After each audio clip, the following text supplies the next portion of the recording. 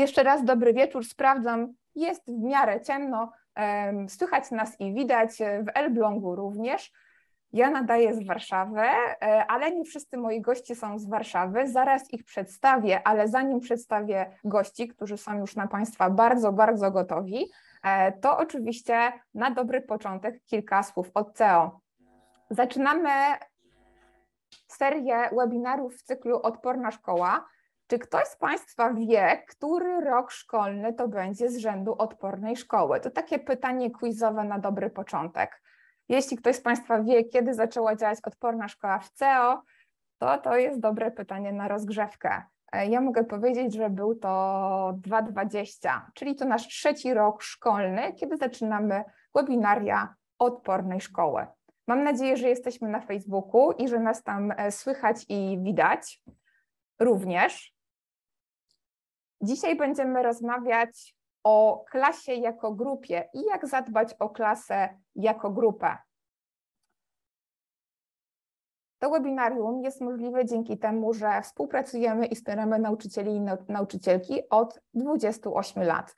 Partnerem cyklu Odporna Szkoła dla Nauczycieli jest Fundacja NRC, która nas wspiera e, w tej codziennej pracy i dzięki niej możemy tutaj dzisiaj być. Docieramy do 40 tysięcy i e, nauczycieli i nauczycielek w całej Polsce i około do 10 tysięcy szkół z całej Polski. Mam nadzieję, że po dzisiejszym udanym wieczorem będziemy docierać do większej liczby szkół, ale zaraz wszystko się e, okaże. E, oczywiście mogą Państwo korzystać z naszej oferty bardzo w szerokim zakresie. To, co jest najważniejsze i powinnam dzisiaj powiedzieć, że w CEO we wrześniu rozpoczyna się nabór do bardzo różnych programów. Zapraszam Państwa do odwiedzenia naszej nowej, bardzo ładnej strony internetowej ceo.org.pl e, łamane na programy i tam znajdą Państwo aktualną ofertę naboru do programów. Jeśli ktoś z Państwa jeszcze nie korzystał z naszych programów, to to jest świetny moment, żeby do takiego programu się zapisać. Nie jestem w stanie opowiedzieć o wszystkich, bo jest ich bardzo dużo. Do wyboru, do koloru, na co Państwo mają ochotę. Oczywiście, tak jak zawsze, mogą Państwo skorzystać ze szkoleń dla rad pedagogicznych, ale to są szkolenia dla całej rady, więc to jest bardziej decyzja dyrektora, jeśli chodzi o zakup takiego warsztatu, ale zawsze można skorzystać z naszych inspiracji na blogu, podpatrywać fanpage na Facebooku, zapisać się na newsletter CEO, albo po prostu przychodzić w środowe wieczory raz w miesiącu i y, być uczestnikiem webinariów odpornej szkoły. Widzę, że Państwo cały czas się witają, witam serdecznie. Coś, co jest bardzo bliskie mojemu sercu i wydarzy się za y, trochę ponad miesiąc, to konferencja Dzień dla Nauczyciela Uczę Mam Wpływ. 8 października w sobotę można się z nami spotkać na żywo albo online, w zależności od tego, na co Państwo mają ochotę i możliwości dojechania, e, by z nami świętować Dzień dla Nauczyciela. To jest taka nasza trochę e, odpowiedź na Dzień Edukacji Narodowej, a my chcemy zrobić prawdziwy dzień dla nauczyciela. Będą warsztaty, będą wykłady, będą, będzie kawa, będą spotkania z autorkami. Serdecznie zapraszam. E, bilety są jeszcze dostępne chociaż już ich coraz, coraz mniej na konferencję stacjonarną. E, bilety online są cały czas dostępne. Zapraszam serdecznie. Ja też tam będę. E, dzisiaj zostałam poproszona, żeby Państwu przypomnieć również o tym, że jak co roku trwa nabór do nagrody imienia Ireny Sandlerowej. Do 25 września, jeśli dobrze pamiętam, e, można składać wnioski przez formularz online. Jeśli ktoś z Państwa chciałby zgłosić swoją koleżankę lub kolegę nauczyciela, a może zgłosić również, e, e, również siebie do tej nagrody, to serdecznie zapraszamy. Nagroda oprócz prestiżu, splendoru, odebrania tej nagrody osobiście jest również nagrodą pieniężną, co myślę całkiem przyda się na dobry początek roku szkolnego. Oczywiście zachęcam Państwa bardzo serdecznie do zadawania pytania, pytań na czacie moim cudownym dzisiejszym gościom. E, oczywiście zaświadczenia będą, ale dzisiaj, proszę Państwa, będziemy mieć jedną małą trudność. A może nie trudność, mam nadzieję, że już trudności dzisiaj nie będzie. E, mamy nowy system do wystawiania zaświadczeń, nowy przyjazny system do, do wystawiania zaświadczeń. E, link będzie podany na koniec dzisiejszego webinarium trzeba będzie się zalogować do nowego systemu. Więc trzymam za Państwa kciuki, jeśli chodzi o ten system. E, Proszę, a widzę, że już link się pojawił, więc jeżeli ktoś z Państwa ma ochotę, może w trakcie webinarium spróbować sobie utworzyć konto w naszym nowym systemie. Jeśli nie, to do, pod koniec webinarium przez 24 godziny ten link będzie aktywny do stworzenia e, konta w naszym systemie. Nagadałam się na dobry wieczór. Mam nadzieję, że powiedziałam wszystko, co chciałam. Goście, najważniejsi goście. Ania Kawalska, Iza Jaskółka-Turek i Adrian Sielicki. Ania Kawalska, psycholożka międzykulturowa, która będzie nas dzisiaj wspierać. Witam Cię Aniu serdecznie. Witam serdecznie. Iza Jaskółka-Turek, nauczycielka w Zespole Szkół Specjalnych, pedagogzka, trenerka i mentorka CEO. Witam Cię Izo bardzo serdecznie. Witam. Adrian Sielicki, nauczyciel historii i WOS-u, e, osoba, która na webinarium Odpornej Szkoły pojawia się po raz pierwszy, ale nauczyciel zaangażowany w kurs Wychowanie to podstawa. Witam Cię serdecznie. Witam, dzień dobry, dobry wieczór. Czy jesteście gotowi na początek e, dzisiejszej rozmowy? Ja e, o tym pytaniu myślę sobie dzisiaj od samego rana. I to też jest pytanie do Państwa. Proszę się podzielić na czacie swoimi wnioskami jak to było w tych pierwszych dniach szkoły. Wchodzę do klasy w nowym roku szkolnym i co ja widzę? Kogo ja widzę? Co mnie tam zostało? Proszę się podzielić z nami. Izo, ja wiem, że Ty chciałaś nas sprowadzić na inne tory, zanim tak. zaczniemy mówić, co my widzimy. I ja wiem, że Ty jesteś na to bardzo przygotowana, więc zachęcam Państwa, żeby już mówić, co Państwo, kogo tam Państwo spotkali, a Iza nam opowie, co zanim wejdę do klasy. Tak, tak. Ja myślę sobie o tym, że warto y, zadbać, y, zadbać o siebie. E, warto, e, warto skupić się na tym, w jakim nastroju, z jaką energią, z jakim entuzjazmem przychodzę do szkoły.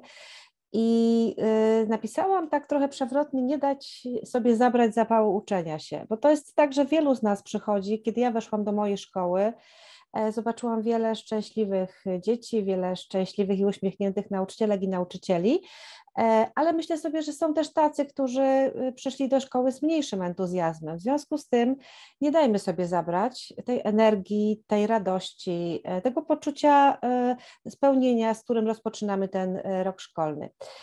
I pamiętajmy, bo to jest bardzo ważne, że naszą rolą, nasza rola nie skupia się tylko i wyłącznie na dydaktyce, ale naszą, naszą rolą jest także, a może przede wszystkim tworzenie, budowanie dobrych relacji w szkole.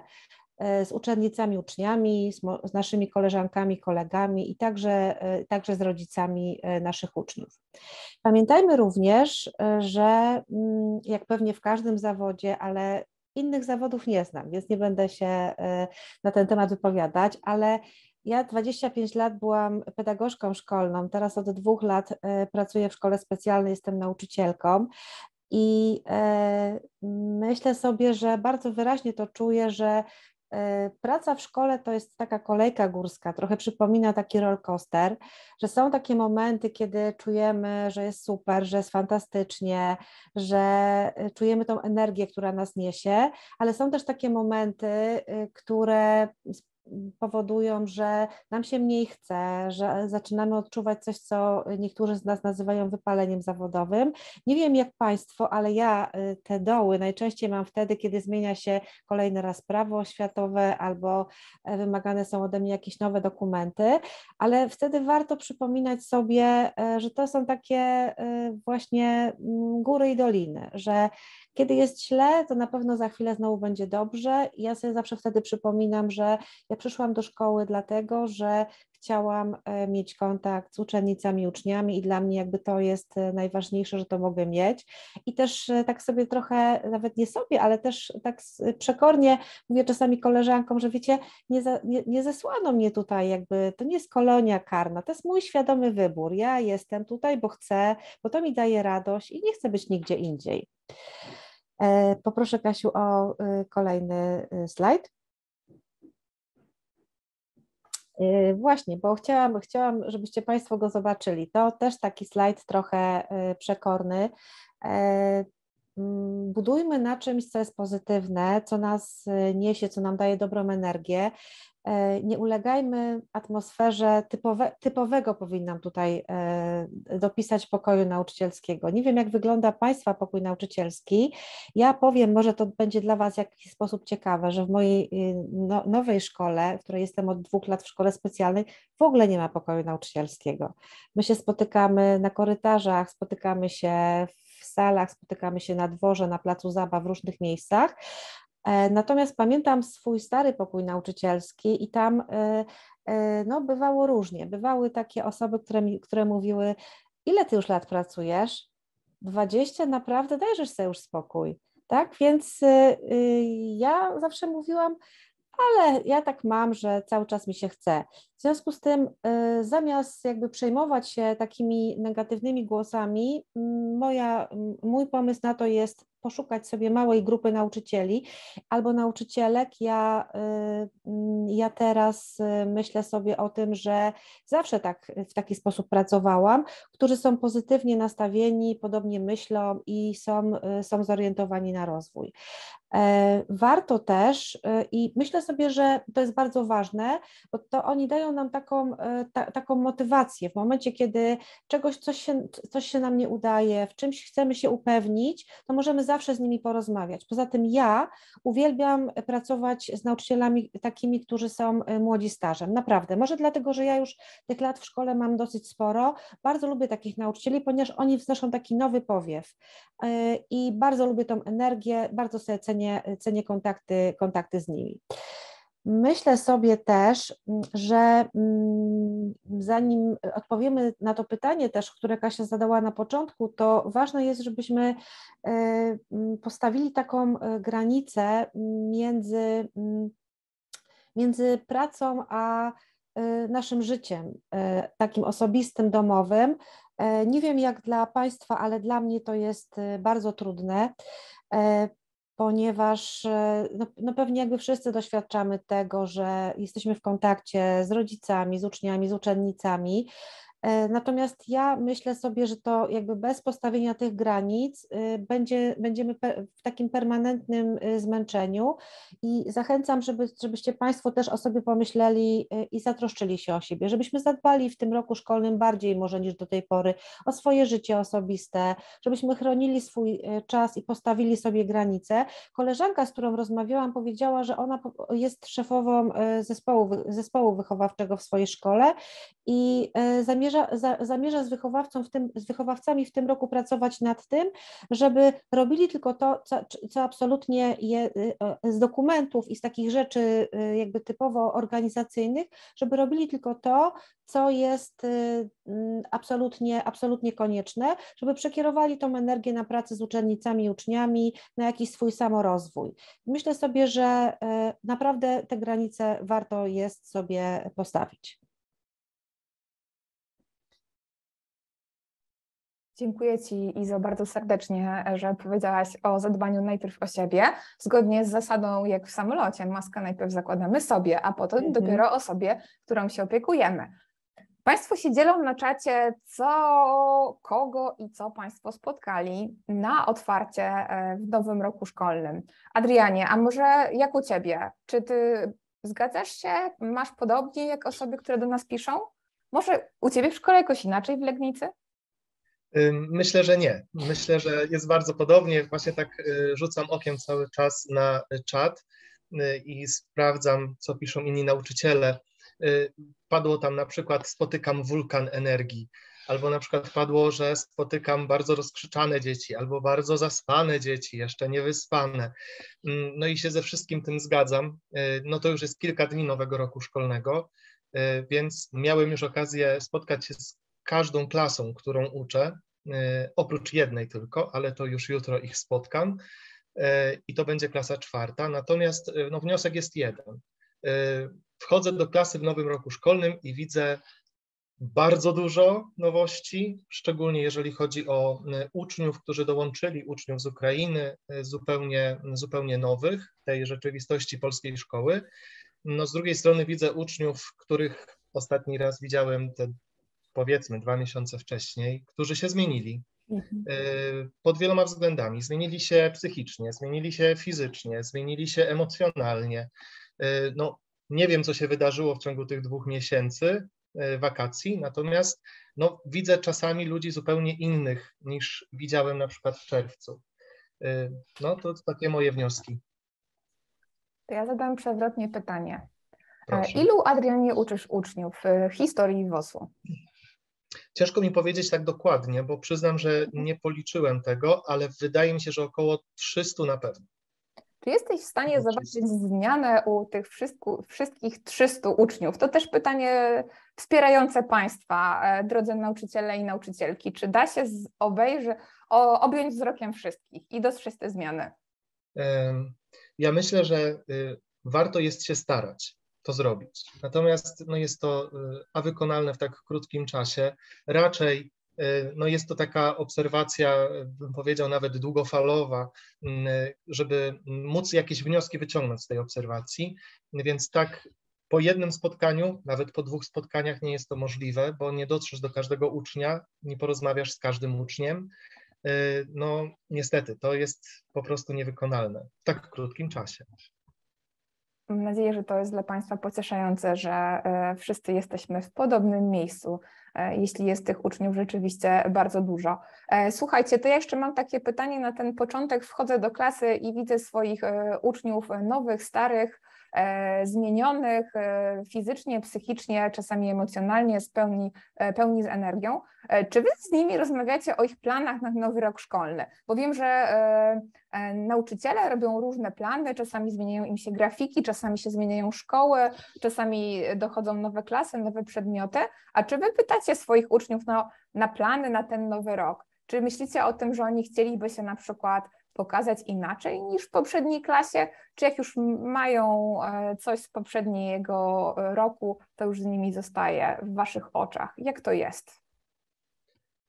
Mm, ja bym powiedział jeszcze tak, e, nawiązując właśnie do tego, co mówisz, Kasiu, jedną rzecz, znaczy, hmm, jakby to od czego zacząć? Ja jestem opiekunem samorządu uczniowskiego, więc co roku są wybory do samorządu uczniowskiego. I na przykład w tym roku to było zaskakujące, bo najczęściej było tak, że ci ludzie, którzy byli zaangażowani w samorząd uczniowski, zgłaszali się ponownie, startowali po prostu w wyborach.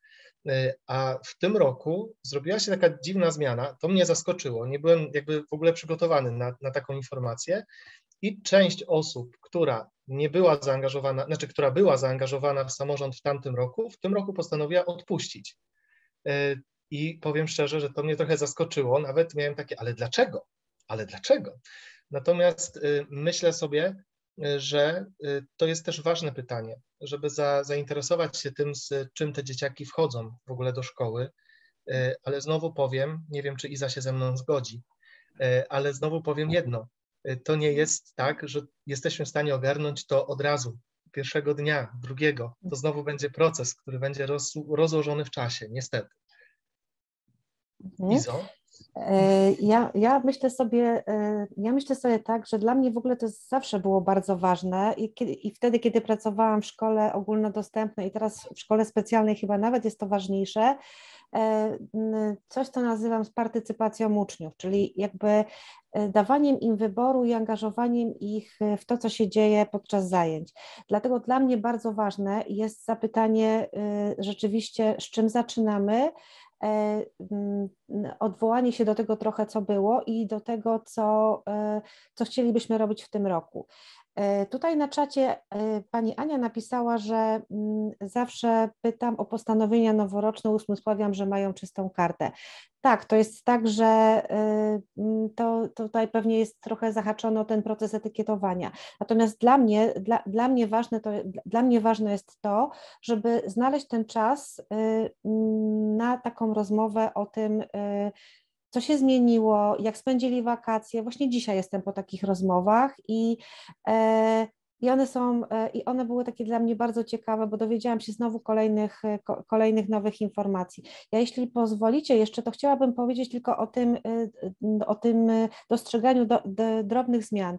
Ja wiem, że to jest bardzo trudne w tak, duży, w tak bardzo licznych klasach. Ja mam łatwiej, bo moje klasy są maksymalnie sześcioosobowe, natomiast myślę sobie, że warto jest, przynajmniej ja tak robiłam w szkole ogólnodostępnej, wykorzystywać wszelkie możliwe okazje. Mijam kogoś na korytarzu i widzę, kurczę, coś się zmieniło, chyba ma nowe okulary, albo ma inną fryzurę, albo e, jakiś, jakąś inną, jak to oni mówią, stylówkę. I ja widzę, jakie to dla nich jest e, ważne, e, że rzeczywiście widzimy takie małe rzeczy. Więc tak, wa warto jest pytać, zgadzam się z Tobą, Adrianie.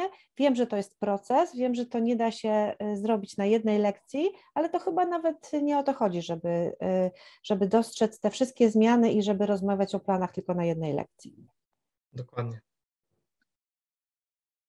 Aniu, e, czy ty ze swojej perspektywy możesz nam e, powiedzieć, e, co uczniowi i uczennicy robi to, że nauczyciel ich widzi? No, myślę, że to, o czym tutaj wszyscy mówiliście i też to, co Państwo pisaliście tutaj na, na czacie, to jest podstawa, to jest od, e, od tego zaczynamy w ogóle spotkanie z drugim człowiekiem, tak, że jeżeli kogoś nie widzimy, no to jak mamy z tym człowiekiem wejść w dialog, więc w ogóle dla ucznia, uczennicy taki komunikat, widzę Cię, e, tak jak tutaj Izo mówiłaś, zauważyłam coś, zauważyłem coś, albo tak jak tutaj Państwo pisaliście o tym, że no, widzę uśmiechnięte twarze, ale też widzę trochę niewyspanych e, osób, a trochę może, e, nie wiem, też zdenerwowania na sali. Wszystko to e, jest takim początkiem budowania kontaktu. Myślę, że to jest bardzo ważne, bycie widzianym, słyszanym jest bardzo ważne dla każdego człowieka, a szczególnie jest ważne dla dzieci, dla młodzieży. E, to jest na przykład bycie widzianym przez e, nauczyciela, nauczycielkę, też przez e, innych uczniów, uczennice w klasie. To jest na przykład to, jak bolesna jest ta przemoc taka rówieśnicza, relacyjna, tak, która właśnie polega na wykluczeniu, na tym, że się kogoś traktuje jak, jak powietrze. I to jest często dla dzieci dużo bardziej bolesne niż nawet to, że ktoś, nie wiem, coś powie przykrego takiemu dziecku.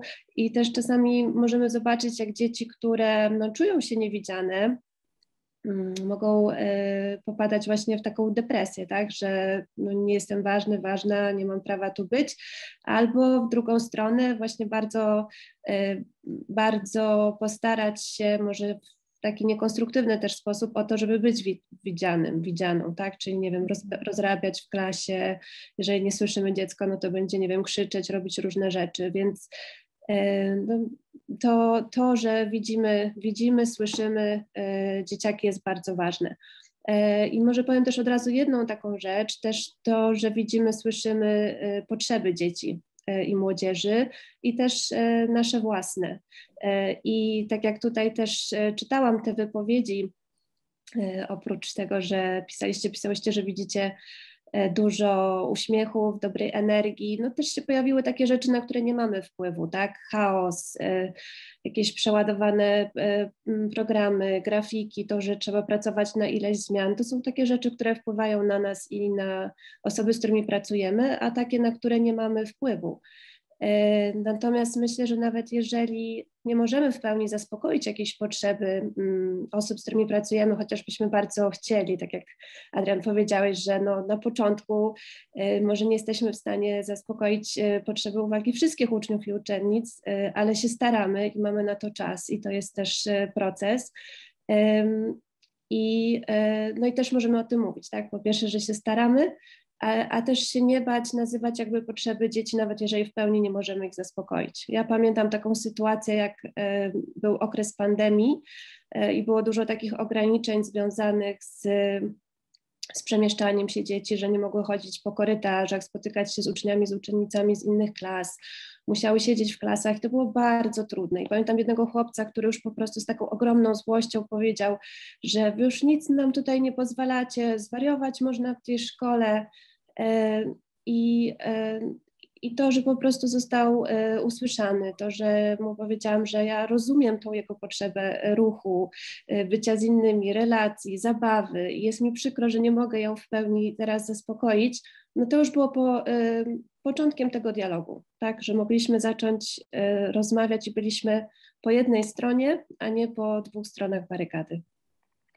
Aniu, bardzo płynnie nas przeprowadziłaś do e, potrzeb, e, o których e, zaczęliśmy rozmawiać. Potrzeba, o której ja bym chciała dzisiaj z Państwem i z moimi gośćmi porozmawiać, to poczucie bezpieczeństwa. Bardzo często mówimy o tym, że bez poczucia bezpieczeństwa uczenie się nie będzie możliwe.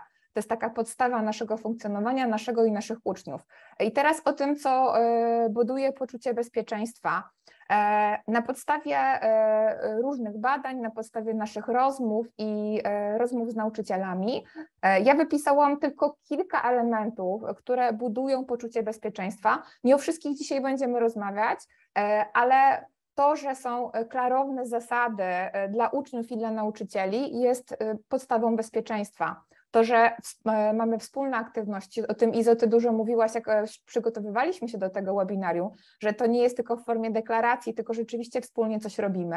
Klasowe rytuały, e, do których też dzisiaj będziemy nawiązywać, określone wymagania edukacyjne również i jasne zasady oceniania. O ocenianiu dzisiaj nie będziemy rozmawiać, do oceniania wrócimy na innym webinarium, ale to w ramach tego poczucia bezpieczeństwa.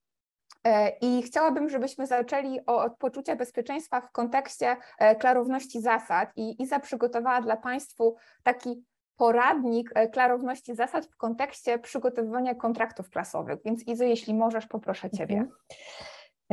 Właśnie, dla mnie w ogóle kontrakt klasowy to jest taka rzecz, która w szkole mm, ma taką dziwną pozycję i tak dziwnie działa. Jak ja też prowadzę e, w CEO szkolenia dla nauczycieli, dla rad pedagogicznych, gdzie o kontraktach dużo mówimy, E, I nauczyciele często mówią, a tam te kontrakty, tak, e, one są, ale no właściwie to one nie działają. I jak zaczynamy wtedy rozmawiać ze sobą, e, jakby po co są te kontrakty, co to jest ten kontrakt, w jaki sposób on powinien być zawarty, dlaczego on jest ważny, dla kogo on jest ważny, to zaczyna, jakby zaczynamy rozumieć, że trochę inaczej myślimy ja i y, nauczyciele uczestniczący i nauczycielki uczestniczące w szkoleniach na, na, o, o, tym kontrakcie. Więc właśnie, po co w ogóle, y, y, do, do czego potrzebny jest kontrakt? Kontrakt potrzebny jest dlatego, żebyśmy wspólnie z uczniami i uczennicami umówili się na to, e, jak, co się powinno dziać w klasie, a co się nie powinno dziać, po to, żeby, żebyśmy wszyscy w klasie czuli się dobrze. E, kontrakt nie jest więc e, czymś, e, właśnie tutaj patrzę na czat, pani Krysia pisze, właśnie wczoraj tworzyliśmy kontrakt w klasie drugiej. No super pani Krysiu, ciekawa jestem, czy jak będziemy o tym mówić, kontrakt czy kodeks, pyta pani Karolina, no właśnie, kontrakt czy kodeks. Nie wiem jak pani, pani Karolino rozumie kodeks. Ja kontrakt rozumiem jako e, wzajemną umowę obu stron, e, czyli e, nas, nauczycieli, czy, wychowa, czy mnie jako wychowawcy i uczniów, do którego się zobowiązujemy wspólnie do przestrzegania. Kontrakt powinien być zredagowany wspólnie z uczniami. Czyli to nie powinno być tak, że przychodzę do szkoły i mówię o tym, że o właśnie teraz ja mam takie tutaj zasady, które y, chciałabym, żebyście przestrzegali, e, bo to nie jest kontrakt, to, jest wtedy, to są wtedy zasowy, zasady czy normy klasowe. Uczniowie powinni być zaangażowani w proces tworzenia e, tego e, kontraktu i kontrakt powinien być spisany, i powinien być podpisany przez uczniów. Niektórzy nauczyciele czy wychowawcy także go podpisują. Powinien być y, wywieszony w klasie w takim miejscu, żeby był on widoczny. E, pojawiło się też pytanie na czacie, co w przypadku, kiedy mimo kontraktu uczniowie nie przestrzegają go i naciągają zasady. Właśnie troszkę będę chciała e, o tym e, powiedzieć, może nie wprost odpowiem na to pytanie, ale może Pani Liliano, kiedy będę mówiła o takich zabójcach kontraktu, to może znajdzie Pani wśród tych zabójców akurat takiego, który powoduje, że uczniowie e, e, w, w pytaniu, które Pani zadaje, właśnie go nie przestrzegają czy, czy naciągają. Zasady powinny być dla uczniów jasne, to znaczy mm, czasami w kontrakcie zapisujemy takie zasady, znaczy często zapisujemy, że szanujemy się nawzajem, jesteśmy koleżeńscy, ale co to znaczy szacunek? Czym dla mnie jest szacunek? Po czym ja poznam jako uczennica i uczeń klasy czwartej, że jestem szanowana, w jaki sposób ja mogę pokazać komuś, że, y, że jest, y, że, że jakby ten szacunek mu, y, że ten szacunek mu okazuje. E, na kolejnych slajdach będziecie Państwo mieli obszary, które są ważne, jeśli chodzi o, o klasowy kontrakt, czyli takie rzeczy z tych obszarów powinny w tym, mogą w tym kontrakcie się znaleźć, czyli na przykład zachowanie się podczas zajęć lekcyjnych, czego, co jest dozwolone, a co, y, co się na tych zajęciach jakby nie powinno wydarzać. O traktowaniu się nawzajem, czyli tutaj mówimy o, tej, o tym szacunku, życzliwości, e, byciem, byciem y, punktualnym, punktualnym. E, w niektórych kontraktach widziałam, że znajdują się także zapisy dotyczące stosunku do nauki. Na przykład w moich zasadach, które ja mam e, wynegocjowane z uczniami i to właśnie w tym tygodniu się dzieje, mamy taki zapis, że jesteśmy aktywni i e, rozmawiamy ze sobą, co to znaczy, że jesteśmy aktywni. No ja mam taką cudowną, takie cudowne klasy, że w mojej klasie uczniowie wszyscy chcą być aktywni. E, I to jest taka e, duża różnica, e, która, którą ja widzę, w, która jest między szkołą specjalną a szkołą ogólnodostępną. Ale też zasady, które są w kontrakcie zapisane, są ważne też w kontekście tego, kiedy w klasie pojawia się, pojawiają się jakieś trudności czy ewentualne, ewentualne konflikty. Co dalej o kontrakcie? Kiedy kontrakt, y, kiedy kontrakt nie działa? E, no właśnie, nie działa na pewno wtedy, mm, kiedy jest tak zwaną sztuką dla sztuki, czyli e, no w szkole, w której na przykład pracuję, jest, taka, jest taki obowiązek, żeby w każdej klasie wisiał kontrakt. No i ja ten obowiązek wypełnię, e, kontrakt wisi i tyle. No i te zasady są wtedy schowane w kącie, bo ktoś je spisał, na początku roku na kartce A4 i powiesił, y, gdzieś jakby schował, one są niewidoczne. Y, nikt nie wraca się do nich, słabo się z nimi uczniowie identyfikują, jeśli wcale.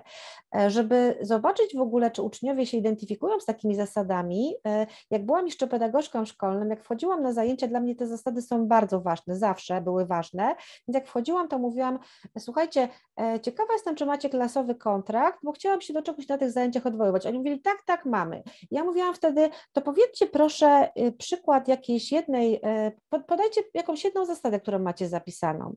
I wtedy ja widziałam, czy rzeczywiście klasa y, z tym kontraktem pracuje, czy nie, bo jeśli nie potrafią podać przykładu żadnej zasady, która jest w kontrakcie, to znaczy, że ten, ten kontrakt jest jakby słabo przepracowany. E, kontrakt nie działa e, wtedy, kiedy występuje zasada następa, czyli na przykład mam koleżankę czy kolegę, który ma ładny kontrakt, ja go sobie kseruję, oprawiam w antyramę, kupioną w pewnym e, szwedzkim sklepie i wieszam, wieszam właśnie gdzieś w klasie.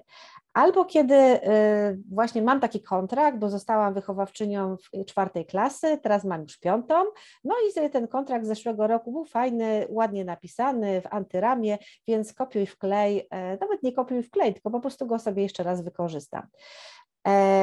Mm, kontrakt na pewno nie działa, kiedy jest napisany y, y, takim językiem paszczaka. Ja nie wiem, czy Państwo kojarzycie taką bajkę Muminki, ale w moich latach dzieciństwa to była moja ukochana bajka, do tej pory ją lubię i tam występowała taka postać paszczak. Ja się go bałam, jak byłam dzieckiem i on był taki zagrażający, on, za, on zabraniał, karał. Była nawet taka piosenka Hej Wisusy chłopaki, paszczak wsadzi Was do paki. Na pewno kontrakt nie działa, kiedy jest sformułowany językiem e, takim zakazów. E, I ja do tej pory, ja, ja byłam zawsze buntowniczką, to mama mi mówiła, mówili mi to nauczyciele i naprawdę jak ja do tej pory tak mam, pewnie niektórzy z Państwa też tak mają, że jak widzę, że czegoś mi jest nie wolno, to mam taką podskórną chęć właśnie to zrobić. I do takich buntowników zasady sformułowane nie, nie, nie, tak właśnie działają. E, przerost formy nad treścią e, to takie piękne kontrakty. Przypominam sobie moją koleżankę, która pracowała ze mną w poprzedniej pracy i ona się właśnie dostała wychowawstwo w czwartej klasie i bardzo chciała, żeby ten kontrakt był taki wynegocjowany, demokratyczny, ale żeby był też piękny. I co ona zrobiła? Ona po prostu zadała sobie bardzo dużo trudu, bo ona sformułowała z dziećmi te zasady, ale te zasady E, każdą z tych zasad podzieliła na, oczywiście na wyrazy, a każdy z tych wyraz na literki, powycinała z jakichś gazet, nie wiem skąd wzięła te literki i tymi literkami wykleiła ten kontrakt, kontrakt miał 8 punktów. Wyglądał pięknie, natomiast e, nie działał, bo jakby właśnie nastąpił przerost formy nad treścią. E, kiedy kontrakt, y, znaczy kiedy kontrakt nie jest kontraktem, tylko jest narzuconymi normami, ma być tak, bo tak, bo ja tak mówię, ja tak mówię, bo jestem waszą wychowawczynią, jestem waszą nauczycielką, e, no to y, trudno potem oczekiwać od uczniów i uczennic, że będą go, że będą go przestrzegać. E, kontrakt także nie działa wtedy, kiedy jest zbyt długi. To znaczy, kiedy tych punktów jest tak dużo i są tak szczegółowe, że a czasami nawet to nie są takie zasady, tylko to jest taka lista naszych pobożnych życzeń, jak chcielibyśmy, żeby uczennice czy uczniowie się zachowywali. Więc jaki kontrakt działa? E, moje doświadczenie i doświadczenie e, nauczycieli, od których się uczyłam, i psychologów, i e, specjalistów od klasowych kontraktów, z którymi pracowałam, miałam przyjemność z nimi współpracować, jest taka, że najlepiej maksymalnie 5-6 zasad. 5-6 zasad sformułowanych w sposób pozytywny, to znaczy właśnie nie paragraf numer i język taki, że dzieci go nie rozumieją, tylko tylko właśnie podam przykład takiej zasady i sformułowany jeszcze w sposób pozytywny, to znaczy, kiedy na przykład mamy w klasie trudność taki, taką, że uczniowie nam się często spóźniają, e, to nie piszemy nie spóźniamy się, bo nie wzmacniamy złych zachowań, tylko wzmacniamy to, o co nam chodzi, ale to piszemy jesteśmy punktualni. E, kiedy e, mamy problem z tym, że e, uczniowie się przezywają, czy mówią do siebie takimi no, ksywkami, jak oni to mówią, których nie akceptują, to nie piszemy, nie przezywamy się, tylko mówimy, pisz, zapisujemy, zwracamy się do siebie po imieniu, albo mówimy do siebie po imieniu, no chyba, że jest ktoś w klasie, komu odpowiada na przykład, że ma jakąś, jakąś ksywkę i wtedy to z uczniami oczywiście też negocjujemy. Powiem jeszcze o jednej rzeczy, która jest ważna, na którą te, której też się nauczyłam i jak prowadziłam trening zastępowania agresji, to też ta, ta, ta zasada y, u nas y, była y, najczęściej zapisana. Mm, jeśli jest z jakąś zasadą, z przestrzeganiem jakiejś zasady szczególny kłopot, to formułujemy ją w sposób i pozytywny, i w taki sposób negatywny. Podam przykład.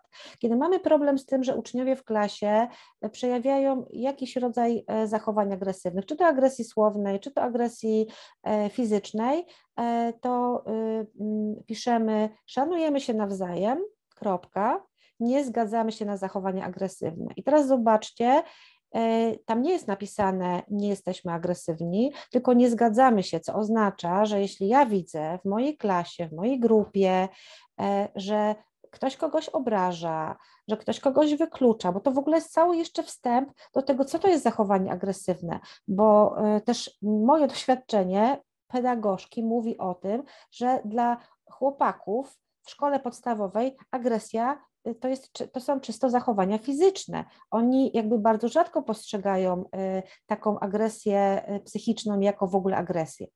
Więc y, tak to w skrócie o kontrakcie i spisujemy go, spisujemy go wieszamy go w takim miejscu, w którym jest widoczny i taka, taka świadoma praca nad kontraktem to jest taka praca, w której odwołujemy się do niego w sytuacjach, których, e, w których chcemy wzmocnić, że jakieś zachowanie pozytywne wystąpiło i chcemy uczniów za coś wzmocnić czy docenić, ale też w sytuacjach trudnych. I powiem jeszcze o jednej rzeczy, chyba już na koniec mówienia o kontrakcie, że pewnie Państwo wiecie o tym, że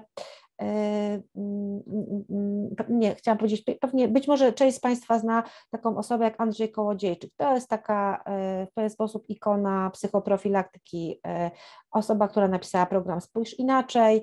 I on też jakby bardzo y, silny nacisk kładzie na, na pracę, na pracę z, kontraktami klasowymi. I on mówił, że żeby klasę nauczyć przestrzegania zasad, to przez pierwszy miesiąc trzeba codziennie na pierwszej lekcji ten kontrakt przypominać, ustalić z dziećmi wzmocnienia za przestrzeganie kontraktów i jakby konsekwencje, świadomie nie używam słowa kary, tylko konsekwencje za łamanie zasad. Warto też zadbać, tutaj y, zapomniałam imię pani, która pisała, że właśnie ustaliła y, ze swoją klasą drugą kontrakt klasowy. Warto jest też zadbać, żeby ten kontrakt był dostosowany do odbiorców, czyli w momencie, kiedy ja na przykład pracuję w klasie, gdzie na sześć osób dwie osoby tylko czytają, to ja mam kontrakt właśnie z użyciem takich piktogramów czy takich obrazków. E, jeśli pani pracuje w klasie drugiej, pewnie uczniowie już czytają, ale być może warto właśnie wzmocnić przekaz jakimś, jakimś obrazkiem, jakimś piktogramem. E, no i to właściwie chyba były takie najważniejsze rzeczy, które mogłam o kontrakcie w tej chwili powiedzieć. Pani Krystyna odpowiedziała, że uczniowie w drugiej klasie czytają. E, no.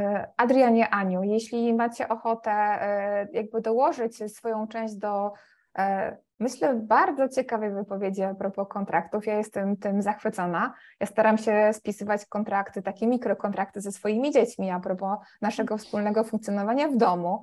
Pewnie one nie są tak rozbudowane jak kontakty klasowe, ale rzeczywiście używaliśmy w zeszłym roku obrazków, ponieważ mój syn nie potrafi czytać jeszcze. E, to może ja e, dopowiem, właściwie tak nawiązując Kasia do tego, co powiedziałaś e, i do używania obrazków, że no ważne jest, aby ten tworzeniu tego kontaktu, żeby, kontraktu, przepraszam, żeby były włączone wszystkie dzieci, tak? Czyli też, żeby, żebyśmy to zro, robili w taki sposób zrozumiały. To mówię w kontekście teraz, Adrian wspomniał, wspomniałeś, że masz dużo nowych uczniów z Ukrainy, którzy może jeszcze nie mówią e, dobrze w języku polskim, więc też, e, żeby mm, zadbać o te osoby, żeby one mogły wspólnie tworzyć ten kontrakt, tak? Czyli możemy się, no tutaj w różny sposób można szukać translatorów, tłumaczyć, on też może być w różnych językach, mogą być te rysunki, możemy w różny sposób e, e, o to, e, o to zadbać i to jest bardzo ważne, żebyśmy o tym pamiętali. Tutaj jeszcze na czacie pani Ksenia napisała, co, co zrobić, jeżeli no, klasa nie ma swojej klasy, w sensie, że klasa szkolna nie ma swojej przestrzeni, I mi się wydaje, że tu Iza już częściowo o tym e, powiedziałaś, że też ten kontrakt, e, szczególnie na początku, przypominamy, rozmawiamy, że nie tylko tak, że on jakby wisi w sali, ale też o nim rozmawiamy, więc to może częściowo rozwiązać ten problem. No ja się też spotkałam z, te, z czymś takim, że faktycznie ktoś ten kontrakt y, przenosił i w takich salach, gdzie, gdzie dzieci bywały częściej, po prostu on y, no, był kontraktem przenośnym, tak, że na przykład przewodniczący, przewodnicząca klasy przez jakiś czas go wywieszała, czy po prostu wisiał w tej klasie, gdzie jednak uczniowie, uczennice mieli y, najczęściej zajęcia. I jeszcze tutaj pani Ola napisała o tym, że ten kontrakt jest, że dba o to, żeby ten kontrakt był otwarty I tutaj myślę, że podobnie jak e, zaraz będziemy też mówić o integracji, że faktycznie ten kontrakt to nie jest coś, co, na co się umawiamy mm, raz i, i koniec, tylko po prostu dalej możemy go modyfikować, e, tworzyć.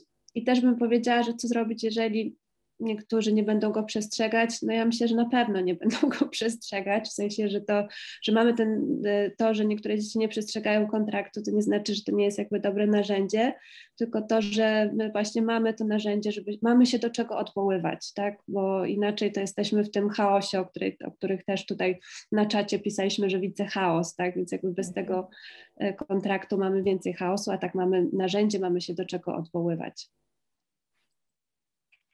E, ja też bym chciał dwa grosze dołożyć do tego, e, do tego wszystkiego i powiem może trochę tak przewrotnie, może tak trochę z innej strony. E, ja w tamtym roku miałem okazję po raz pierwszy w ogóle tworzyć kontrakt klasowy, bo w tamtym roku szkolnym zostałem wychowawcą. Po raz pierwszy. I powiem Wam szczerze, tak przyznam się przed wszystkimi uczestnikami, że nie miałem zielonego pojęcia, jak zrobić kontrakt klasowy. Ja tylko wiedziałem, że wypada coś takiego zrobić.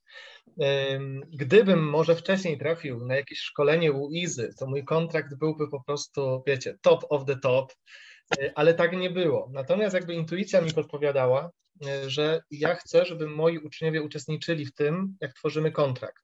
To była czwarta klasa. E, I w sumie mogę stwierdzić, że chyba trochę przesadziłem z oczekiwaniami. Mi się wydawało, że dzieci to mi teraz podsuną takie zasady, że ja wszystko będę mógł wykorzystać. No i stanąłem na godzinie wychowawczej i mówię: Słuchajcie, robimy kontrakt, kontrakt klasowy, to teraz każdy z Was może powiedzieć, co jest dla niego ważne. Y, I praktycznie po dwóch minutach już się wycofałem z tego, bo się okazało, że te rzeczy, które mówiły dzieci, jakby nijak się nie miały do tego, co wiedziałem, że powinno być w kontrakcie. Y, natomiast y, na szczęście to było tak, że wymyśliłem sobie, że dam sobie trochę więcej czasu, czyli jednego dnia będziemy rozmawiać w ogóle o kontrakcie na godzinie wychowawczej. Y, potem na następny dzień przed rozpoczęciem lekcji już historii znowu wrócimy do tego, żeby jeszcze po przemyśleniu mogli powiedzieć, co o tym myślą i potem tydzień później na godzinie wychowawczej będziemy ten kontrakt tworzyć. I w międzyczasie e, rozpoczął się właśnie kurs CEO, czyli wychowanie to podstawa. E, I tam znalazłem e, to wszystko, co mnie jakoś, wiecie, dręczyło, odpowiedzi na te pytania, które mnie dręczyły, więc kiedy już wpadłem ten tydzień później do klasy, to wiedziałem już, co robić i jak podejść w ogóle do tworzenia, do tworzenia tego kontraktu. I on nie był idealny. Ja dzisiaj to wiem, z perspektywy tego roku wiem, że ten kontrakt nie był idealny i za to podkreśliła, że lepiej unikać takich sformułowań jak nie będę albo nie będziemy, czyli takich zakazów, powiedzmy, wprost wyrażonych. W moim kontrakcie takie dwa zakazy się e, pojawiły, one się tam wkradły, ale na swoje usprawiedliwienie mam to, że to były zakazy, które powiedziały dzieci. E, więc wykorzystałem to, co one sformułowały, moja słabość była taka, że nie potrafiłem tego e, jakby oddać językiem pozytywnym, chociaż naprawdę starałem się, ale miałem z tym wielki problem. E, niemniej e, byłem naprawdę bardzo zdziwiony. Mniej więcej miesiąc później była taka sytuacja, pewna sytuacja klasowa, i na godzinie wychowawczej, kiedy rozmawialiśmy o tej sytuacji, to wtedy uczniowie powiedzieli: No właśnie, a my w kontrakcie mamy zapisane, i ja byłem, słuchajcie, tak pozytywnie zaskoczony. To było tak niesamowite y, dla mnie uczucie, że oni, oni pamiętają. Y, tutaj właśnie też Ania nawiązywała do, y, do pani, która wspominała o tym, że nie posiada własnej sali. Ja salę posiadam. Natomiast i tak przygotowałem takie drukowane wersje tego kontraktu. Był jeden, jedna wersja taka duża, ona wisiała w klasie, i takie małe wersje, takie wiecie, jak połowa A4 e, i po prostu każdy uczeń dostał też swoją wersję, no i do zeszytu historii w tym wypadku na z tyłu każdy wklejał i podpisywał e, się pod tym kontraktem. I to też było, myślę, bardzo dobre posunięcie, dlatego że jak moja koleżanka z pracy miała problem w mojej klasie z uczniem, który y, nie chciał przychodzić punktualnie na lekcję, zawsze jak dzwonił dzwonek, szedł do toalety, y, to ona akurat też w tym samym dniu miała lekcję, kiedy, kiedy i ja miałem lekcję z moją klasą i mogła powiedzieć, bo jej to podpowiedziałem, wyciągnij na chwilę zeszyt z historii, otwórz go na ostatniej stronie, zobacz, tu masz kontrakt y, i przeczytaj punkt, to chyba był wtedy czwarty, jak dobrze pamiętam, będę punktualnie przychodził na zajęcia. No i ona mogła się też do tego odnieść no, słabość jest taka, że w czwartej klasie mieli tylko jedną godzinę historii w tygodniu, więc ten zeszyt pojawiał się tylko raz w tygodniu. Niemniej ten kontrakt nie był tylko w klasie, był też wklejony w zeszyt. Można próbować e, w różny sposób tak naprawdę e, ten, ten kontrakt, kontrakt gdzieś udostępnić uczniom, tak żeby mieli do niego, mm, do niego dostęp. W tym roku jeszcze na przykład nie robimy kontraktu. Pierwsza godzina wychowawcza to były sprawy bardziej organizacyjne. Y, zapowiedziałem, że będziemy pracowali nad kontraktem w klasie piątej. No i teraz uczniowie nawet dzisiaj jeszcze podpytywali, czy możemy na przykład zapisać w kontrakcie, żeby nie krzyczeć y, na przerwie. Y, dosłownie takie było pytanie dzisiaj. Ja mówię, dobrze, wrócimy do tego, jak zachowywać się też na przerwie i będziemy próbowali też w jakiś sposób sformułować to i zamieścić w kontrakcie, skoro jest to dla Was tak ważne. Tyle, myślę. myślę Dziękuję Ci, y, Adrianie, bardzo. Myślę, że y, zainspirowaliście naszych, naszych odbiorców oglądających nas dzisiaj. Ja podbijam pytanie Pani Magdaleny, czy ktoś z Państwa, kto nas dzisiaj ogląda, ma doświadczenie z kontraktami w szkołach ponadpodstawowymi? My przejdziemy dalej, bo ten wątek, zostawiamy go na czat, jeśli ktoś z Państwa ma takie doświadczenie. Mówimy o bezpieczeństwie, E, I drugim elementem, który chciałabym, żeby e, też się pojawił, e, to są te rytuały, te drobne, małe, klasowe. Wiem, że o tym rozmawialiśmy mm, o tym, co może być podstawą bezpieczeństwa w kontekście rytuałów. I pamiętam, Aniu, jak ty mówiłaś o tym, E, że to może być tylko minuta. E, ja bym chciała, e, żeby to, żebyśmy do tego wrócili bardzo krótko, a potem przeszli do relacji i czy to jest rzeczywiście szkoła to miejsce na relacje pomiędzy uczniami. Ja myślę, że w ogóle rytuały i pewna przewidywalność to jest bardzo ważne dla budowania poczucia bezpieczeństwa. To, że uczniowie, uczennice po prostu no, mm, E, wiedzą, jaki jest rytm lekcji, rytm przerwy. E, no to daje takie poczucie spokoju e, i faktycznie mogą też w tym pomagać bardzo rytuały. Na przykład w klasach młodszych na dzień dobry, myślę, że to jest coś, co nie, nie zajmuje tak bardzo dużo czasu, a no a też pomaga właśnie zobaczyć y, uczniów i uczennice. To na przykład to, coś, z czym się spotkałam y, no, wie, wie, wielokrotnie, to to, że na przykład uczniowie jeszcze przed wejściem do, do klasy na przykład y, pokazywali nauczycielce, nauczycielowi, w jaki sposób by się chcieli z nim przywitać, tak? Czy po prostu, nie wiem, podać rękę, czy przybić piątkę, czy, po, czy tylko się tam ukłonić, więc to też był taki moment już takiego rytuału, że, że ktoś ma ten wybór na dzień dobry, dobry, jak się chce przywitać e, mm, i to też mogło być takim rytuałem. A tak sobie właśnie myślę, że jeśli chodzi o te rytuały, e, i też zaraz będziemy mówić o integracji, że właśnie mm, to, to jest coś, co może być e, taką właśnie minutą tak, na każdej lekcji, w zależności od tego, co jest nam e, potrzebne. Czy to jest coś, co robimy na początku, nie wiem, w młodszej klasie, jakieś rytuały, jakieś piosenki, którą się witamy, mm, czy na przykład w starszych klasach może to jest taka minuta, nie wiem, ciszy, wyciszenia, żeby się jakoś uspokoić, albo każdy puszcza jakąś swoją muzykę, tak, może puścić fragment jakiejś muzyki każdego dnia. No tak myślę, że to jest coś, co nie musi dużo czasu zajmować, a, mm, a pomaga uczniom, uczennicom i tak, że tak zrobimy, że każdy będzie widoczny i zarazem będziemy budować grupę o budowaniu grupy, e, o zadbaniu e, o klasę jako grupę, wydaje nam się, że e, ten element, czyli od poczucia bezpieczeństwa przez drobne rytuały, po najważniejszy element, czyli miejsce na relacje pomiędzy uczniami i uczennicami. Ja przewrotnie wrzucam Państwu takie pytanie, też do Państwa, którzy są na czacie, żeby się zastanowili nad tym, czy lekcje to w ogóle jest moment, kiedy zawiązują się relacje pomiędzy uczniami, czy to w ogóle jest możliwe jeśli nie lekcje, to, to e, co kiedy uczniowie mają szansę na nawiązywanie pomiędzy sobą relacji. E, I Aniu, ty już zaczęłaś mówić o integracji jako wstępie do budowania relacji, więc proszę cię, kontynuuj ten, ten wątek.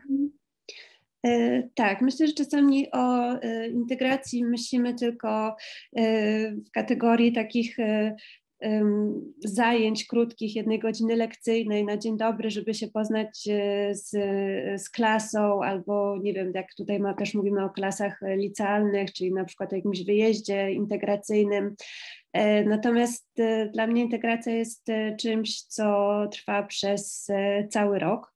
Oczywiście na początku na tą integrację poświęcamy więcej czasu, dlatego że dopóki dzieci się nie będą czuły i młodzież bezpieczna w klasie, dopóki osoby się nie, nie poznają, to nie będą zainteresowane uczeniem się, tak? Do, do, dopiero kiedy to zbudujemy, dopiero grupa będzie gotowa na to, żeby się uczyć. Zresztą, e, jak widać na początku, e, to jest ten uśmiech, entuzjazm u dzieci i młodzieży, ale to też jest ta niepewność. E, I, i dlatego to jest bardzo ważne, żeby każdy mm, miał okazję mm, się poznać e, z innymi osobami w klasie. E, ale to nie tylko poznanie, bo to budowanie relacji i w ogóle integracja jest też najlepszym, najlepszą e, formą profilaktyki na przykład przemocy rówieśniczej. W sensie nie ma lepszej profilaktyki niż po prostu dobrze zintegrowana klasa, a dobrze zintegrowana klasa to taka, gdzie budujemy relacje między uczniami uczennicami. To jest trochę tak jak tutaj E, mamy ten rysunek z tymi sznurkami, o tym bardzo ładnie mówi e, profesor Jacek Pyżalski, że w momencie, kiedy przychodzi, e, mamy klasę, to jest taka mm, zbieranina trochę przypadkowych osób, tak? To są osoby, które, które się nie znają i w momencie, kiedy mm, my tworzymy dla nich różne okazje poznania się, no to budują się między nimi więzi, tak? I będzie tak, że między jedną a drugą osobą może to będzie jakiś taki gruby sznur, jakaś ogromna przyjaźń, która może powstanie na całe życie. Ja mam jeszcze przyjaciółki na przykład z, z liceum do tej pory, e, ale e, może być tak, że to będzie jakaś jedna e, cienka linia. E, I teraz mam ja pytanie takie do, e, do Państwa, tutaj do naszych uczestników i uczestniczek, może nie z perspektywy e, klas, z którymi pracujecie, ale tak na chwilę, jakbyście się cofnęli, cofnęły wspomnieniami do tego, jak Wy chodziliście do szkoły, kiedy Wy byliście uczniami, uczennicami. Nie wiem, zobaczcie sobie, ile tam było osób w Waszej klasie, może 30, może 20, może 15, może 33 E, I pomyślcie sobie o takiej osobie, którą znacie najsłabiej, którą znaliście mm, najsłabiej wtedy. I pytanie jest takie, ile rzeczy możecie powiedzieć o tej osobie? Można napisać na czacie, już nie co to jest, tylko ile to jest rzeczy. Ja na przykład przypominam sobie e, takiego chłopaka, Wiem, jak miał na imię, wiem, gdzie mieszkał, wiem, że się e, średnio uczył, wiem, że kiedyś niestety chłopaki e, no, mocno mu dokuczyli. Ja naprawdę o tym chłopaku nie wiem nic. I nie dlatego, że już nic nie pamiętam, bo to było dawno temu, tylko ja tego nigdy nie wiedziałam, bo nie miałam okazji się tego dowiedzieć. E, a, mm, I myślę, że teraz na przykład jak pracuję jednak z klasami szkolnymi, jest z tym zdecydowanie lepiej. Czyli, że te e, relacje pomiędzy dziećmi mogą być, nie wiem, silniejsze, słabsze, ale przez różnego typu oddziaływania, na przykład właśnie różnego typu gry, zabawy e, integracyjne, te dzieci mają e, okazję się poznać, zbudować relacje, tak, i dopiero potem myśleć o nauce. E, I jak tutaj e, na tym następnym e, slajdzie to możemy też zobaczyć, to jest też trochę tak, że mm, to możesz Kasia tam przesunąć jeszcze na ten następny. Tak, że trochę tak jest, że jak przychodzą do nas dzieci, no to one też, znaczy integracja i tak nastąpi, tak? Tylko albo po prostu dzieci się same pointegrują według jakichś swoich kluczy, albo to też będzie taki proces, na który my będziemy mieć wpływ. E, I na przykład, tak jak widzimy tutaj na tym jednym z obrazków, to jest tak, że dzieci przychodzą też w jakichś takich swoich, ja to mówię, nie wiem, pudełkach, tak? I mo może być tak, że jest grupa, nie wiem, na przykład y, osób dobrych y, ze sportów i osób, które nie są y, tym sportem zainteresowane.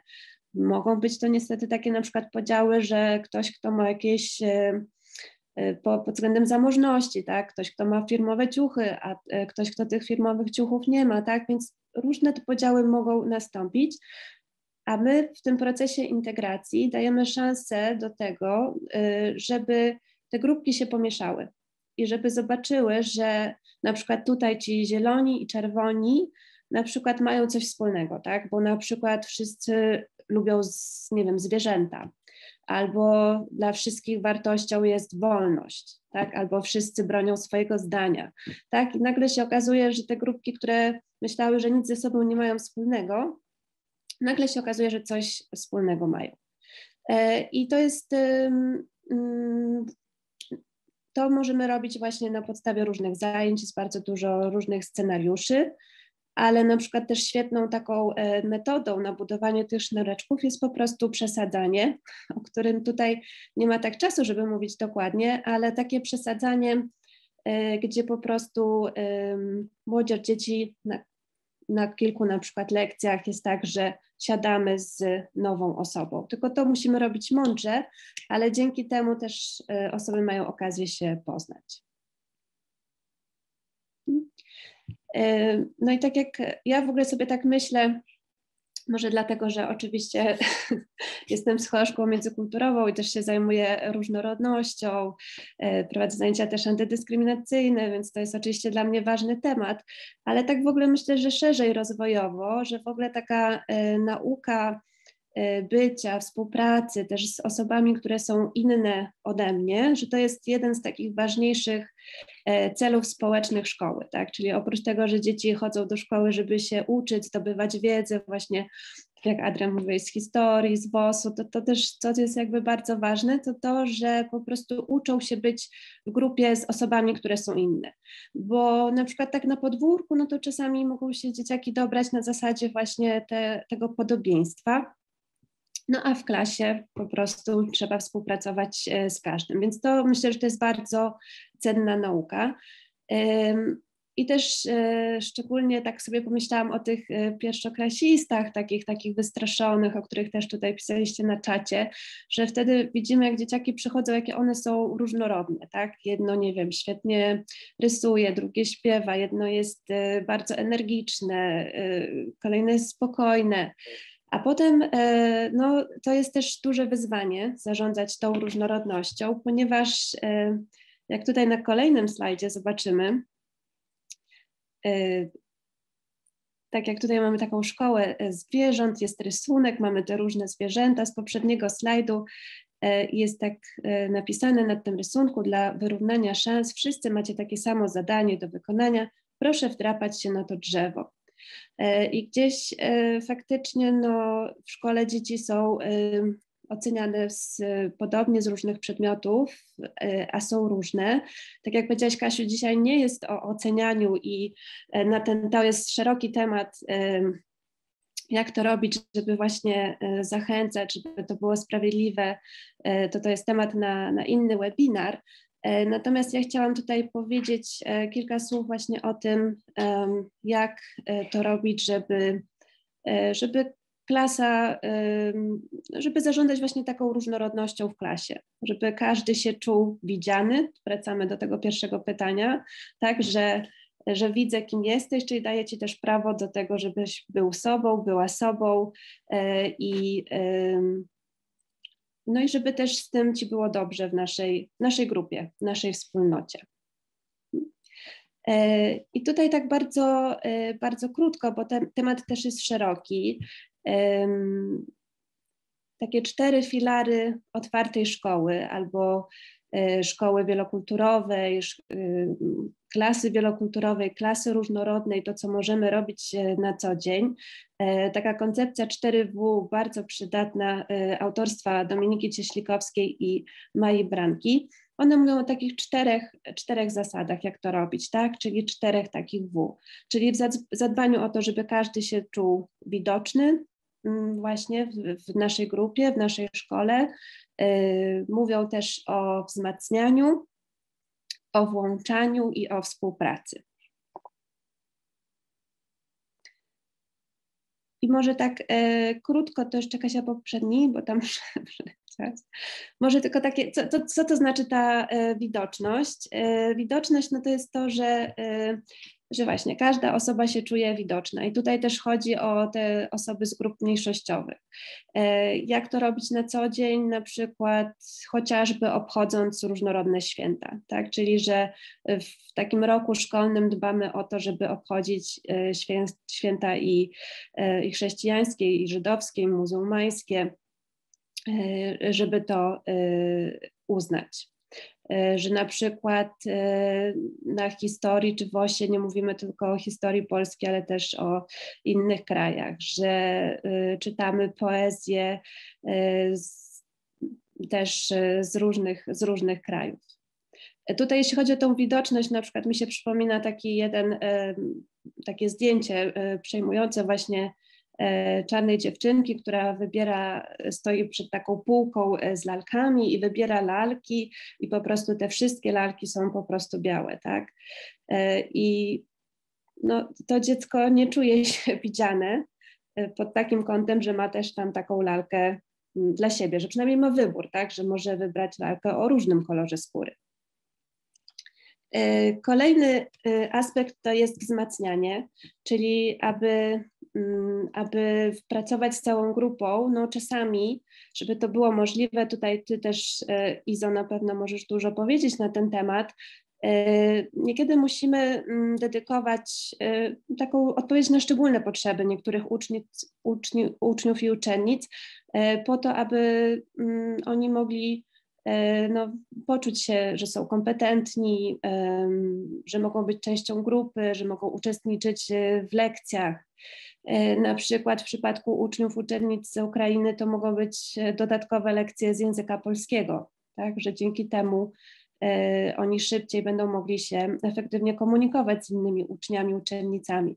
W przypadku osób, które mm, są wysoko wrażliwe, albo mm, doświadczyły traumy. To mogą być jakieś zajęcia takie pomagające im wyrównać, regulować emocje.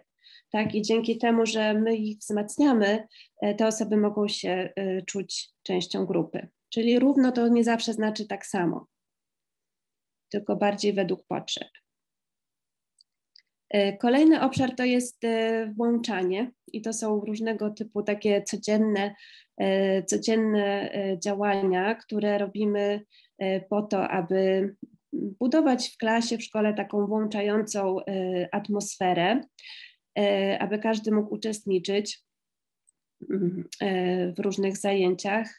No to na przykład to, że jeżeli, tak jak tutaj jest na tym zdjęciu, że jeżeli, nie wiem, mamy posiłek w stołówce szkolnej, czy jemy wspólnie śniadanie, no to dbamy o to, żeby każdy miał coś do zjedzenia.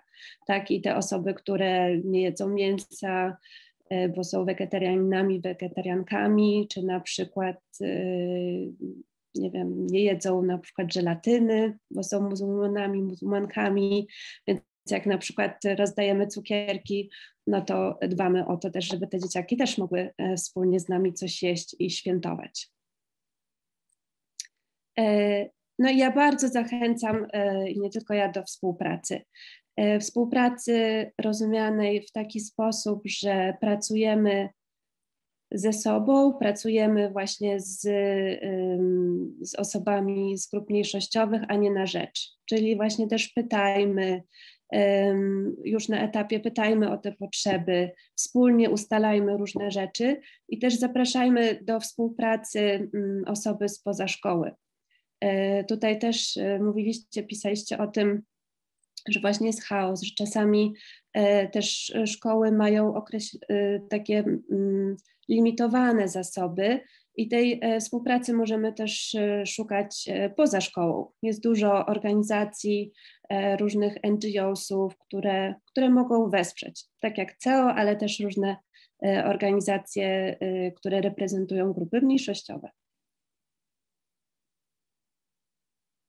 Dziękuję Ci, Aniu. Oczywiście dotykamy na razie tematu widoczności i czterech filarów e, otwartej szkoły. Do tego będziemy oczywiście wracać.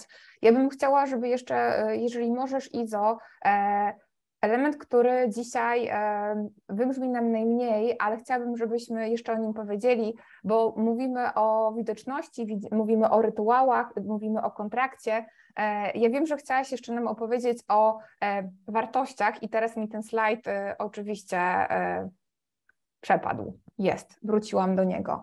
E, przy tych kontraktach i przy widoczności e, wszystkich uczniów e, jest jeszcze miejsce na wartości w szkole, albo przede wszystkim jest miejsce na wartości w szkole. Więc ja bym chciała, żebyś jeszcze Izo chwilę o tym, a potem spróbujemy przyjrzeć się temu, jak to jest, kiedy przychodzi nowy uczeń, nowa uczennica do klasy. Musisz włączyć mikrofon. Przepraszam, ja bardzo krótko, bo wiem, że już jakby czas, y, nie, nie, nie, mamy tak dużo czasu. To, co Państwo widzicie na slajdzie, to jest coś, co mnie urzekło y, podczas takiej wizyty studen, studyjnej w szkole, w szkole w Reykjaviku, w Technical Technical Schola, to się tam tak nazywa, tutaj jest y, angielskie logo tej szkoły, to jest nasza szkoła, z którą jesteśmy, jest nasza partnerska placówka, która właśnie nauczyciele przyjeżdżają do nas w przyszłym tygodniu. E, I tam jak y, wchodzi się do szkoły, to jest w ogóle ciekawa, ciekawa wielokulturowa szkoła, ale w Islandii jest bardzo dużo takich szkół, ponieważ właściwie Podobno w tej chwili w szkołach islandzkich e, jest więcej e, dzieci emigrantów niż dzieci rdzennych Islandczyków. I to, co Państwo widzicie, to jest taka, mm, no, mogę ją nazwać tablicą, która, e, na której napisane są wartości we wszystkich językach uczennic i uczniów, którzy się w tej szkole uczą. I co to, co to mówi? O tej szkole o tej społeczności. To mówi o to, to mówi, e, to mówi, e, daje taki komunikat, że w tej szkole, czy jesteś z Polski, czy jesteś e, z kraju Bliskiego Wschodu, czy jesteś z Ukrainy, czy jesteś z jakiegokolwiek innego kraju poza Islandią, czy jesteś Islandczykiem, jesteś tak samo ważny. Że umawiamy się na, na wartości, które są dla nas kluczowe i te wartości są te same. I co możemy zrobić, mm, żeby te wartości były widoczne w tej szkole, w tej klasie, e, jakie zachowania e, te wartości wspierają, a jakie zachowania e, tych, y, tym wartościom przeczą. Ja myślę sobie w ogóle, że y, praca w oparciu o wartości to jest y, też znakomity punkt wyjścia do klasowych kontraktów, bo jeśli mówimy, że szanujemy się nawzajem, to czym jest szacunek? Szacunek jest wartością. Jeśli mówimy, jeśli mówimy, że jesteśmy tolerancyjni, to co to jest tolerancja? Tolerancja jest wartością. Mm, I tak dalej, i tak dalej. Ja zostawię z Państwa z kilkoma takimi pytaniami. Mm, mamy zapisane w podstawie programowej e, o tym, że w szkole powinno odbywać się wychowanie do wartości. I mnie do pewnego czasu się to tak trochę źle, drętwo kojarzy, kojarzyło, ale potem to przełożyłam na e, taki swój, e, swój język i zrozumiałam, że w momencie, że wartości są ważne dla każdego, że Czasem słyszę od nauczycielek i od nauczycieli, że dzieci nie mają żadnych wartości. To nieprawda. Każdy z nas ma jakieś, ale te wartości y, mogą być różne dla nas, mogą być różne dla naszych uczniów i uczennic, a nawet mogą być nieróżne, ale po prostu możemy je inaczej rozumieć. E, więc warto jest uwspólnić rozumienie tych wartości. E, każda szkoła ma taki dokument, który nazywa się Misja i Wizja Szkoły. No, moje pytanie retoryczne, nie chcę, żebyście Państwo odpowiadali na to pytanie na czacie. Ilu z, państw, ilu z Państwa potrafi zacytować te dokumenty? Albo ilu z Państwa potrafi wskazać te wartości, które są w tej y, wizji i misji zawarte? E, wartości są również pewną bazą, pewną podstawą do budowania programu wychowawczo-profilaktycznego, E, co roku powinniśmy te wartości, o tych wartościach rozmawiać z całą społecznością szkolną, czyli ze społecznością naszych koleżanek i kolegów, nauczycieli, nauczycielek, rodziców, uczennic i uczniów. E, kiedy y, przychodzi do klasy nowy uczeń, nowa uczennica, czy ona jest y, uczniem pochodzącym z Polski, czy ona jest uczniem czy uczennicą pochodzącą z innego kraju, na przykład z Ukrainy, y, warto jest jakby też y, o tych wartościach rozmawiać, uwspólnić, jak je rozumiemy, może rozumiemy je inaczej. E, na, y, na czacie wklei, wkleiliśmy Państwu link do takiej publikacji e, Narzędziownik Wychowawcy Klasy.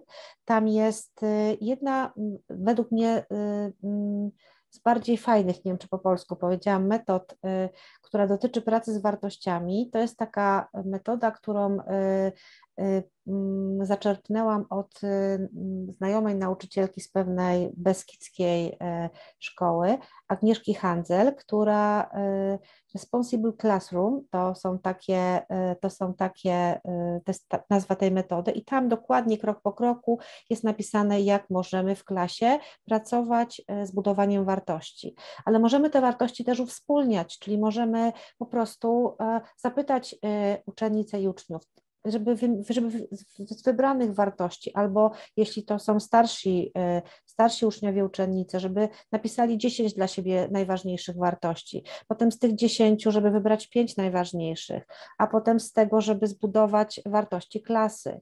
E, kiedy ja pracuję, pracuję metodą treningu zastępowania agresji, tam jednym z trzech komponentów tego treningu jest trening wnioskowania moralnego i tam jakby pierwszymi zajęciami do treningu wnioskowania moralnego jest praca z wartościami.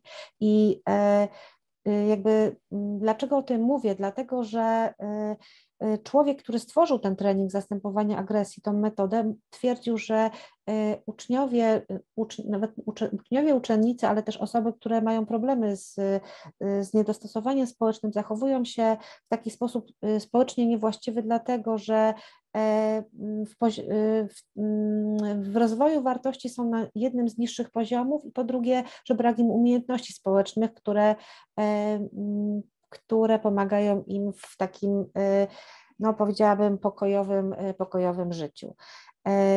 Mm, nie, wiem, że mamy mało czasu, w związku z tym odsyłam Was do tego narzędziownika. Tam znajdziecie różne sposoby pracy y, z wartościami i też bardzo mocno rekomenduję y, y, kurs i program Wychowanie to podstawa, bo tam o wartościach też bardzo dużo mówimy. Adrian już wspominał o wychowaniu to podstawa. E, zapraszamy Państwa serdecznie. E, nie wiem, jak będzie z dostaniem się do programu, bo cieszy się on olbrzymią popularnością w tym roku szkolnym, ale proszę sprawdzić na stronie e, CEO, ceo.org.pl łamane programy. Tam są wszelkie informacje. Ola na pewno Państwu zaraz na czat wrzuci. Ale Izo, już zrobiłaś też krok w, te, w stronę ostatnich dwóch zagadnień, o których chciałam dzisiaj rozmawiać. Nowy uczeń, nowa uczennica w klasie. Ja bym jeszcze chciała przerwotnie dołożyć, bo teraz y, mamy dużo nowych uczniów i uczennic w klasie. A co w sytuacji, kiedy uczeń i uczennica dołączają e, w trakcie roku szkolnego? Doświadczaliśmy tego e, w marcu, w kwietniu, w maju i w czerwcu. E, Adrianie, nowy uczeń, nowa uczennica w klasie, pięć razy w ciągu roku szkolnego na przykład. No u mnie to było dokładnie cztery, cztery razy. I już mówię, dlaczego dla mnie to było bardzo trudne doświadczenie y, i dlaczego, i dlaczego udało się mimo wszystko zintegrować klasę. Y, generalnie, kiedy zaczęliśmy w szkole przyjmować y, dzieci uchodźcze, na początku w sumie w tym pierwszym tygodniu żadne dziecko nie trafiało do mnie. Tak akurat wyszło, że trafiało do klas starszych, do klas młodszych. Akurat te czwarte klasy nie było takiego zapotrzebowania. Natomiast kiedy już wiedziałem, bo y, przyszła pani wicedyrektor i poinformowała mnie o tym, że do mojej klasy dołączy dziewczynka, y, to ja w te pędy poleciałem tam, gdzie moja klasa miała lekcję. Y, I poprosiłem ich, żeby przenieśli telefony komórkowe i wiem, wiem, niektórzy teraz na pewno sobie myślą, jak to telefony komórkowe w szkole, jeszcze w ogóle, że nauczyciel każe przynosić, tak, kazałem przynieść, dlatego, bo poprosiłem, żeby mieli zainstalowany bardzo proste narzędzie, Google Tłumacz. Myślę, że mogę nazwę powiedzieć bo stwierdziłem, też poinformowałem ich o, tych, o tym, że będzie nowa uczennica, mm, ale że to może im pomóc w tej pierwszej relacji, bo ja od razu miałem w głowie jedno. Ta dziewczynka będzie miała problem z tym, żeby się skomunikować. Y, od razu jakoś mi to grało w głowie, że musimy wyjść naprzeciw y, właśnie temu problemowi. Y, suma summarum wyszło tak, że Tetiana dołączyła do mojej klasy w poniedziałek i przyszła tak naprawdę na godzinę wychowawczą, dopiero, bo tak ustaliliśmy ostatecznie. E, I to, co po prostu e, mnie całkowicie zaskoczyło, to fakt, że wszystkie dzieci były bardzo otwarte. Również Tetiana. Do tego, żeby poznać nas, oczywiście nie, nie zrobiłem tego na zasadzie Tetiana, stań na środku i się teraz przedstaw. Tylko zwyczajnie powiedziałem, witamy Tetianę, Y, tak, przygotowałem taki słowniczek, gdzie były takie podstawowe pytania, po ukraińsku i też w takim zapisie fonetycznym, żeby dzieciom było łatwiej, więc ten taki powiedzmy mini słowniczek rozdałem dzieciakom i generalnie dzieci już miały jakieś narzędzia do tego, żeby się komunikować. Co ciekawe, Tetiana była tą, która pierwsza jakby zaproponowała, że ona też powie, jakie mogą być odpowiedzi na te pytania. I zapisywaliśmy je na tablicy. Czyli na przykład pytanie, jak sprawy, no to mogę odpowiedzieć tak, mogę odpowiedzieć tak, to znaczy pozytywnie, to znaczy negatywnie i tak dalej. Y, natomiast już parę dni później dołączył Pawlo. Y, I z Pawlem to jest w ogóle, słuchajcie, historia niesamowita, bo prowadzę lekcje, no i ta sama wspomniana już wcześniej pani wicedyrektor nagle wpada mi do klasy i mówi: Panie Adrianie, musi pan iść do dyrektora. No to ja wiecie, ciśnienie po prostu 200 na, na 100 albo nawet i wyższe. Myślę sobie, co ja zrobiłem. E, więc zaraz marynarkę wziąłem, narzuciłem na siebie, no bo jak do dyrektora to wypada wyglądać. No i poleciałem. I się okazało, że tam u dyrektora była mama z dzieckiem, właśnie z Pawlem, i Pawlo strasznie płakał, bo bardzo nie chciał przyjść do polskiej szkoły, był wystraszony tą całą sytuacją. E, cały czas mówił, że nie chce być w tej klasie, nie chciał w ogóle zwiedzać szkoły, nie chciał nic widzieć. I na każde moje pytanie odpowiadał nie. Więc ja usiadłem po turecku obok jego krzesła, na którym on siedział i powiedziałem, ja się stąd nie ruszę, póki ze mną normalnie nie porozmawiasz. I tak siedziałem chyba 15 minut y, i jak zobaczył, że ja cały czas siedzę i czekam, y, kiedy oni załatwiali, jego mama, y, pani tłumacz i dyrektor załatwiali wszelkie tam sprawy i on w końcu zaczął nawiązywać kontakt. I tak się stało, że kiedy odprowadzałem ich do wyjścia, nie dość, że E, udało mi się mu pokazać szkołę, e, to jeszcze udało mi się go wprowadzić na lekcję matematyki, gdzie była moja klasa. E, zrobiłem to trochę intuicyjnie, ale moja klasa przywitała go owacjami, co było w ogóle dla mnie zaskakujące, dla niego tak samo. I my mieliśmy jeszcze czas, dlatego że mm, w czwartek to było, a w poniedziałek była godzina wychowawcza i on miał przyjść właśnie na godzinę wychowawczą w poniedziałek. E, dopiero na lekcję, więc my znowu, nie, cały proces przygotowania do tego, żeby przyszedł Pawlo. A już w piątek okazało się, że przyjdzie jeszcze jedna uczennica, więc to jakby był już taki proces dosyć szybki. Natomiast kiedy ostatecznie Pawlo i y, Sofia przyszli w poniedziałek na lekcję wcześniej, czyli na angielski, przyszli już na ósmą, ja nie, nie miałem tego takiej świadomości. I kiedy, słuchajcie, ja przyszedłem do szkoły, na godzinę wychowawczą, to dzieci przyszły do mnie na przerwie i powiedziały, proszę pana, bo my już wszystko wiemy, bo my wiemy, co Sofia lubi, my wiemy, że Pawlo gra w piłkę nożną, my wszystko wiemy. Ja mówię, jak? No bo my na telefonie, na angielskim, pani nam pozwoliła porozmawiać i właśnie Google Tłumacz poszedł w ruch. No to było tak niesamowite. Oni wszystko, słuchajcie, o sobie wiedzieli, e, więc ja jedyne, co mogłem zrobić, to poleciałem do um, WF-istów, wziąłem piłkę, no i zabrałem ich na godzinę wychowawczą na boisko i po prostu tam bawili się razem ze sobą, poznając siebie y, tak samo, jakby ten proces integracyjny w takiej po prostu wspólnej zabawie. I dla mnie to było tak niezwykłe doświadczenie, y, bo nie dlatego, że ja coś, że ja coś zrobiłem fajnego, bo to wcale tak nie było i mam tego pełną świadomość. Chodziło o to, że moi uczniowie zaopiekowali te dzieci. Dzisiaj wiadomo, są tacy, którzy się lubią bardziej, którzy lubią się mniej, jak to w klasie, ale dzieci zaopiekowały się tymi, którzy przyszli, bo byli już nastawieni pozytywnie do tego, że będzie ktoś nowy. Oni wręcz wyczekiwali na nich e, i nie mieli takiego hola hola, dystans, nie chcę z wami mieć nic wspólnego, tylko naprawdę byli ciekawi. E, a jak się okazało, Pawlo był świetnym piłkarzem, jest świetnym piłkarzem, świetnie gra w piłkę nożną, więc już w ogóle szacunek u chłopaków na dzielni ma do dzisiaj, e, bo świetnie sobie z tym radzi. Dziękuję tak staram się e, skracać, bo tak, widzę czas. Tak, e, bardzo. Jak, ja mam takie doświadczenie, że webinaria to jest inna czasoprzestrzeń, tu się zakrzywia czas. E, I zawsze z tym czasem jest problem. Ja bym chciała, żebyśmy podsumowali to doświadczenie Wasze, mam nadzieję, wspólne i też naszych słuchających, oglądających. Pani Ewa pisze, że telefony to E, normalne. Zdajemy sobie sprawę, Bardzo że, dobrze, Pani Ewo. E, że tak jest. E, to jest rzeczywiście narzędzie, które nam pomaga. O co, o co zadbać, kiedy przychodzi nowy uczeń i uczennica? Państwo widzą to na slajdzie. Myślę, że to bardziej kwestii, kwestii przypomnienia. Został nam Ostatni temat, którego już dzisiaj nie damy rady pociągnąć, ale ja Państwa z tym zostawię e, o, a propos e, widoczności. Mówiliśmy o widoczności ucznia, mówiliśmy o widoczności e, nas, nauczycieli, że musimy o siebie zadbać. Zostali nam rodzice. Widoczność rodziców, włączanie rodziców jako duży temat. Nie rozpocznę tego kawałka, bo na pewno nie bylibyśmy w stanie e, e, w te 6 e, minut się dzisiaj zmieścić. Ja Państwa pozostawię z tym tematem rodziców, szczególnie, że wiem, że jest to tydzień zebrań w szkole. Nie wiem, czy Państwo są już po zebraniach z rodzicami, ja bym chciała nazywać je spotkaniami z rodzicami. Czy to znaczy, że jesteś po, czy się zgłaszasz? To znaczy, że się zgłaszam i jestem po dzisiaj.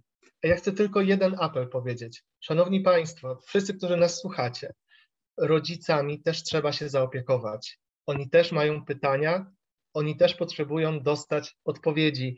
Y, rozmawialiśmy z Kasią przed webinarium jeszcze y, i sama Kasia to potwierdziła. Naprawdę, my często chcemy zaopiekować dzieci, zaopiekować siebie, musimy też zaopiekować rodziców, bo dla nich to też jest bardzo, bardzo ważne i bardzo istotne. Ja po prostu potrzebowałem to powiedzieć. Przepraszam, Kasiu. Bardzo dobrze. Ja e, z, wypowiadam się z punktu e, widzenia mamy e, ucznia i uczennicy szkolnej.